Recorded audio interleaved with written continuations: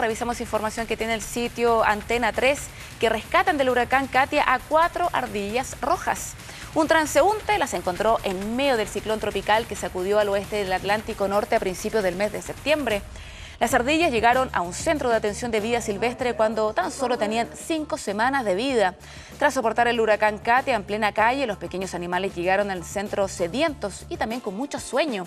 El encargado del centro, Kim Olson, asegura que habían entrado en shock y estaban cargadas de sueño, dice el sitio web Antena 3. Allí se van sobreponiendo poco a poco de lo vivido gracias a los cariñosos cuidados de sus cuidadores.